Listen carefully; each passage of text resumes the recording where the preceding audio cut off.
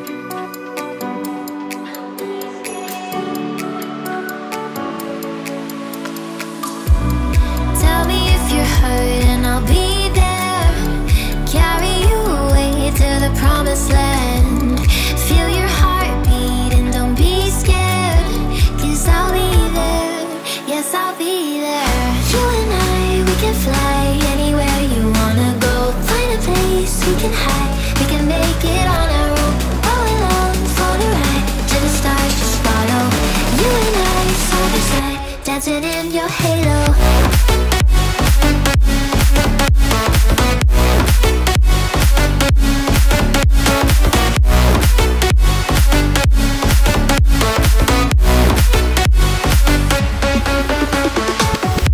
And we are done.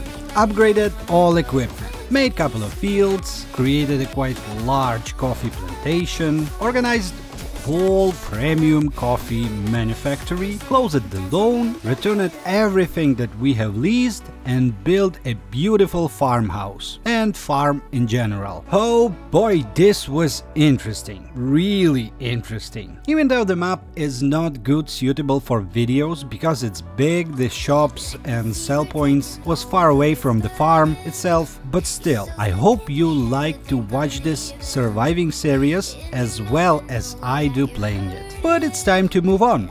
So I want to say thank you to the modder who have done this amazing map. And I want to say thank you to you farmers, because without your likes, comments and views, there will be no sense in this channel and videos. Okay farmers, new journey is waiting, so get ready. See you in the next surviving.